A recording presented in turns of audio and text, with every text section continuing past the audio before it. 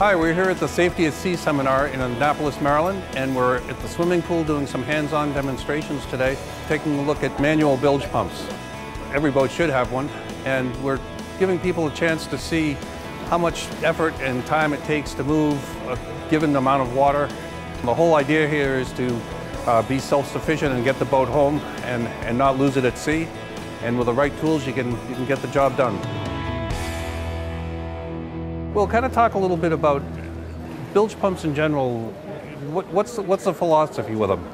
The philosophy of a bilge pump is to be able to generate the capacity needed to deal with any water ingress into your boat.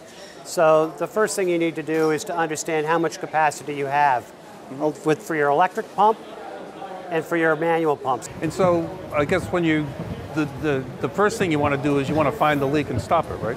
Exactly. You want to make sure you get your electric bilge pumps going, and then you go to look for point of ingress. That's the most important thing. Yep. And if you can't stop it, slow it down so that you get to a point with knowing that your, your pumps can handle that what's coming in. Mm-hmm. You know, there's some that would like to say, okay, if your boat's 40 feet, this is what your pumping capacity has to be. Uh-huh. I'm a big believer that instead of regulation, I think you've got to take personal responsibility.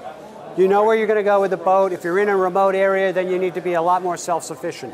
Gotcha. If you're in the middle of Buzzards Bay, maybe perhaps a little bit less so.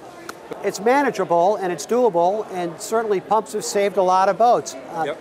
But the, the key is being prepared and having through-hull plugs and having a, having a way to plug a rudder post hole, uh-huh. uh, making sure that you stay up with the manufacturer's recommendations on replacing a sail drive bladder. Mm-hmm. I mean, those things are all critically important. We sell these pumps that we're demoing today mounted on a board. They're a portable pump. Uh-huh. They could be handed to another boat in distress because uh-huh. there may not be a problem on your boat. It may be the boat, you know, next door in an anchorage that all of a sudden mm-hmm. has a water issue and you, and you need to get pumping over to them. Talk a little bit about the conditions and what you need to think about. The placement of the pump, if permanently installed, should be done in a way that you can brace yourself in a seaway mm-hmm. and so you can get your body behind the pumping motion mm-hmm. because then you have a greater sustainability rate of pumping action and that's really critical. So water's heavy, you got to move it and it takes a certain amount of energy to do it.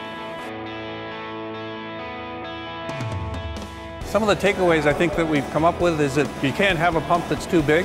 When you need it, you need it, and when you need to move water out of your boat, you need to move it quickly. Bilge pump alarm is going to let you know that you have a problem. You got to get down there, you got to find your leak, you got to plug that or stem the flow a little bit. Get it to the point where you can keep up with it with your pumps if you want to get home without calling the Coast Guard. And I think the other takeaway here that I would recommend is to make sure that you have multiple pumps on board. Uh, you have the electric pump that's going to buy you some time, but then you've got the manual pump if your batteries flood or if they, if they go dead on you.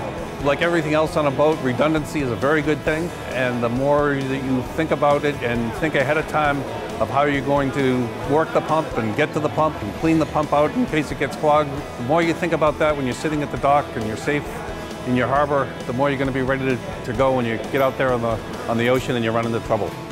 Be safe out there.